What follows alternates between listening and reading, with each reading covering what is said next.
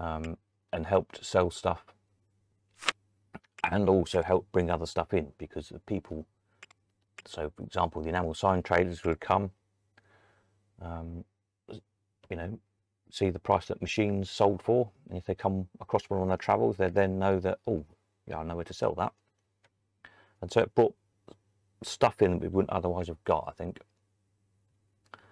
Uh, we're doing it online. Obviously there's a, a total worldwide audience for every auction, which might be good and bad because it means you've got to compete against more people if you're buying. Uh, but it does mean you've got more people, more buyers when you're a seller. So you can't have it both ways. Um, uh, Alan, I'll answer that in a minute, Alan. Um, yeah, so whether, so there might not be that need to kind of mix the auctions up. Um, subject wise, if that makes sense. So I don't know, I might think about doing one month we might just do machines, the next month just do fairground stuff, the next month just do advertising stuff and then repeat or something. Um, that might be worth trying. It might in a way get more interest if it's just an auction of one particular narrow subject. Might cause more interest in the marketplace. I'm not sure. Um, or we might just carry on having a mixed auction. Don't know, there's kind of pros and cons for both, I think. So I suppose the beauty of having a mixed auction is you've got the opportunity to, to sell your whatever it is every month, or buy whatever it is every month, rather than having to wait maybe three months for that, for the slot machine auction to come around again, for example. So we'll see, we'll probably keep the mix, I guess. Uh, Alan says, what if your item didn't sell at auction? Well, if it didn't sell, it didn't sell. It would still be here. Um, and either put it in again or take it home. Uh, same as before, really. Hopefully, you'd set a sensible reserve. You would have to think about reserves again, obviously in auction, whereas with the Coldcon system, you, would not needed to do reserves because you see what the offer comes in and then decide whether to sell it or not. Um, obviously going back to auctions then you're going to have to think about reserves um, again. But yeah, the same as before, if it doesn't sell, put it in again or, or, or take it home. Just be sensible with the reserves. Uh, Greg says, do you reckon bi-monthly auctions would be better to build up stock? Um, I just see what comes in, really. Um, I know this, there are, are people who have been holding back because they either don't like or don't quite understand the Coldcon system or didn't want to pay their £10 or whatever and have been waiting for proper auctions again. Um, so I think um, there will be more stuff coming in than we've had on, on the Coldcon thing. We've had, I don't know what the average has been, it's usually five to ten is the sort of machine work. if we talk about machines per week new ones go on. Sometimes there's only two or three sometimes there's been a dozen or 15 I'm guessing I don't actually know to be quite honest but I'm guessing perhaps five or six a week average has gone through. Um, so I put what six on last week and there's four or five to go on next week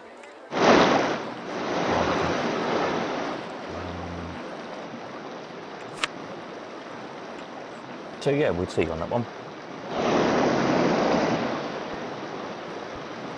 Uh, Pick says, I think a mix-up sale of all lot types. Yes.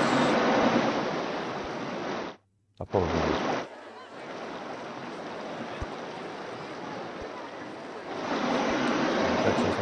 Answered. Paul says also, I think mixed auctions. Yeah. So I think um, benefit of mixed auctions is your particular interest comes around more often. As much as we would like to see an auction of 200 lots of machines or 200 lots of fairground art or 200 enamel signs or whatever, the reality of getting that much stuff every month isn't going to happen. So you're going to be waiting three or four months at a time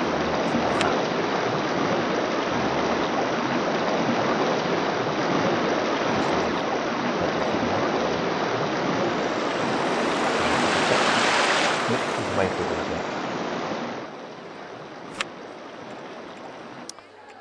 Uh, could the items that don't sell at auction could go on the website as a buy it now? Yes, I guess it could do. Not?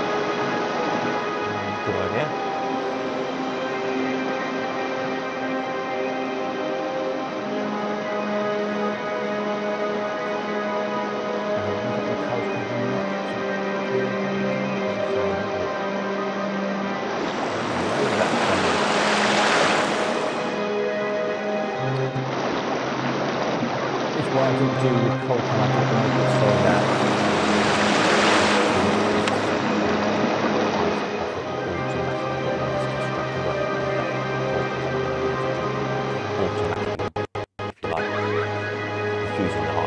to see if they got a bit more the next week or the week after or whatever.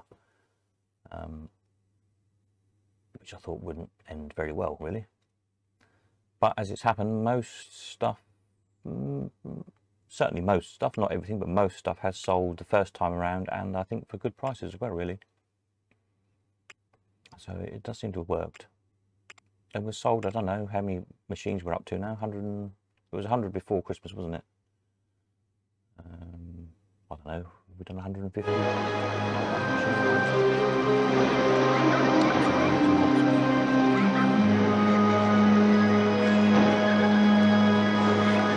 yeah, I was going to program the site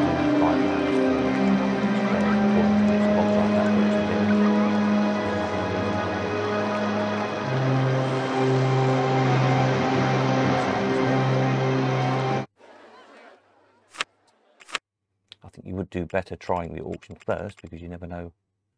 And It takes two people to get carried away, as we all know. As we saw the other day in Spices, stuff can go stratospheric. So, from seller's point of view, you're always better uh, putting it in auction. Uh, Alan also agrees with mixed auctions. I think we've um, we've uh, got the thumbs up for mixed auctions in from everybody pretty much.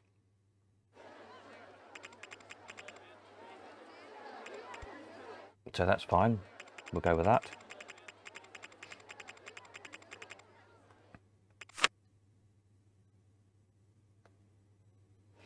Um, as to how, you know how many lots we get, I don't know. They're probably I said, the, because of pulling out the spares and coins and bits and bobs like that. There probably wouldn't be as many a time as we usually do at the Elephant House. Um, the amusement sales were what probably um, usually sort of between three and four hundred lots, I think, from memory.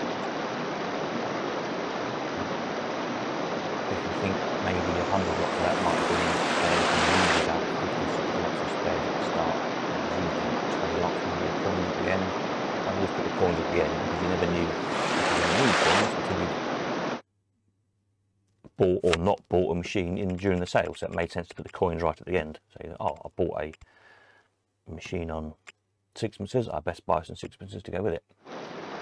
So by, so by pulling those out, pulling the spares out, it's probably the equivalent pulling 100 lots out of the old sales.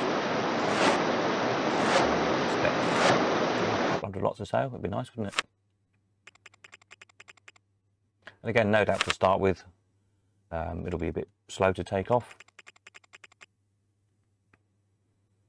Um, we'll just see how we go. Again, I think once it's rolling, once people have bought stuff, um,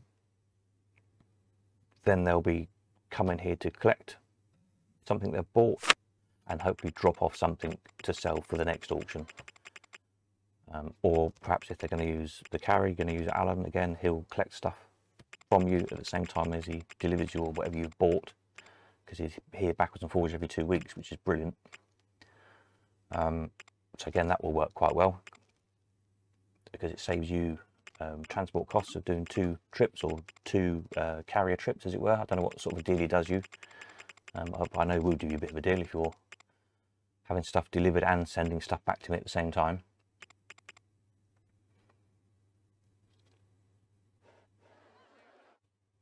Pete says, looking back at these pictures, just where are all these machines? That is a good question, actually, where are they all gone?